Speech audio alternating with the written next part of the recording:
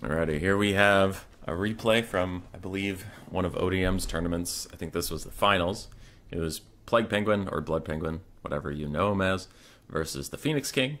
Ogres versus Dark Elves. Awful lot of Dark Elves. Always will be until we get a patch. It's been many, many months since we got a patch that affected the meta. Um, I think pre Immortal Empires. That's a joke, but only barely for the Dark Elves. Two Scourge Runner Chariots, three Dark Riders, two Cold One Knights, two Dark Shards, Crows of Khaine, and then a bunch of Dread Spears, including the Hellebronii, with, of course, Malekith up in the sky with Soul Stealer, Gaze of Malice, and Noxious Breath. For the other side, in Phoenix King, five Gnoblar Trappers, the Maneater Pistol ROR, the Powder Guts. Then we have Ogre Bulls with dual weapons, Ogre Bulls, four Saber-Tusk Packs, the Sky Striders Crushers ROR, and the Slaughtermaster of the Great Maw with only Troll Guts for a spell. He also has Blood Gruel, which sucks, so don't take that. It only heals you, it doesn't heal your whole army. Anyway, Dark Shards teeing off onto Gnoblar Trappers. Sky Striders catch a little bit of collateral damage and decide not to go there, which is probably smart. Scourge Runner Chariots deleting the Powder Guts while I was busy talking to you all about the builds, they've already killed four models and taken the powder guts down to half HP as the Scourge Runners continue to punish those guys. Now, the Scourge Runners are taking a little bit of damage in, in response, but uh, still pretty good. Saber-Tusk Pack's getting in a fight with a mix of Cold One Knights and Dark Riders. Malekith looking like he's lining up for Breath Attack, maybe, or he's just going to fly down there and cause a quick terror out. Meanwhile, the Crows of Khaine diving in onto the Gnoblar Trappers.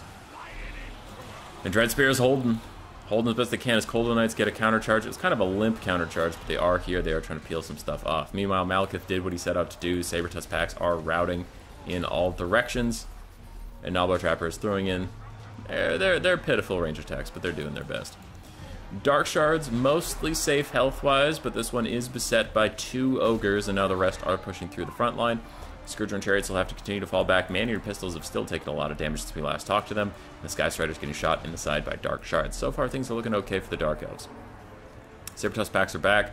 Malekith still continuing to fight against these Gnoblar Trappers and the Saber-Tusks. I don't know if he's gotten any breath attacks off, but he probably needs to go do that sometime soon. Dark Shards are trying to find somewhere to go, but all of their nearby friends are routing and the Scourge Runner Chariots are nearby, but they are also under duress. So the Dark Elves are in mass exodus right now. Really, all portions of their front line are falling apart all of a sudden. Murderous Prowess is popped at last. I'm sure the Dark Elves are happy for that, so they're, all their units get stat buffs after most of them already left the fucking game, but whatever. That seems fine. Saber-Tusk still trying to fight Malekith. Cold Knights did finish off those Ogre Bulls, and now we'll probably have to contend with Gnoblar Trappers and Saber-Tusk. But Balance Power is all of a sudden in favor of the Ogres. I would tend to agree. Powder Guts got a big heal, either from an Overcast of Troll Guts or from a Butcher. Not entirely sure, but the Scourge Chariots are like, fine, we'll just kill you again, and already whittling them back down towards half HP. Cold Knights fighting Saber-Tusk and the Sky Striders, but looks like the Sky Striders are opting out of that battle. And Dismember is going to keep these Scourge Runner Chariots in range of the Ogre Bulls with dual weapons. Can these guys get attack animations off onto the Chariots, or will they run uselessly beside it? Let's find out. Looks like uselessly beside it is the order of the day. Dark Rider's countercharge might be able to push off those Ogres. Their leadership is not the best.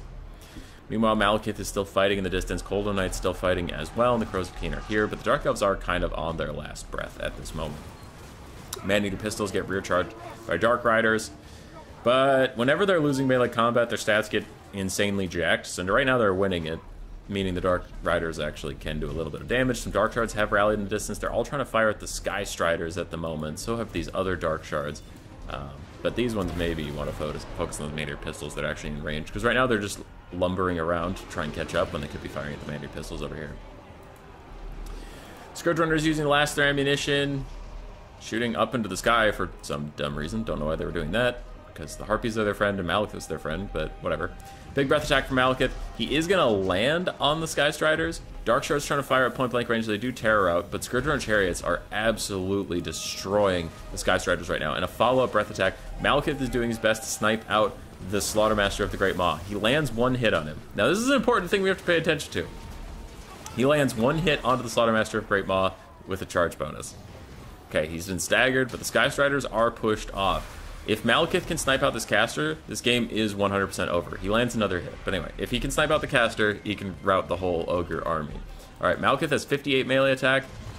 Slaughtermaster has 48 melee defense. 58 to 48. So he has 10 more melee attack than the enemy has melee defense. He just missed two attacks in front of you. All right, cool. Misses a third. All right, cool. Hits. So he's he's one out of the last four. Misses. He's one out of the last five. Misses. He's one out of the last six. Now remember, I'm gonna pause it because I don't miss it. One out of the last six. Remember, if he if he kills this guy that he jumped onto, he can win the entire game. He's taking damage while he sits here as a whole bunch of Gnoblar trappers are trying to pour fire into him. The Sky Striders are trying to come back. Powder Guts are shooting at him. So Malekith is paying a lot for this duel, but he should be winning it. So one out of six. One out of seven. One out of eight.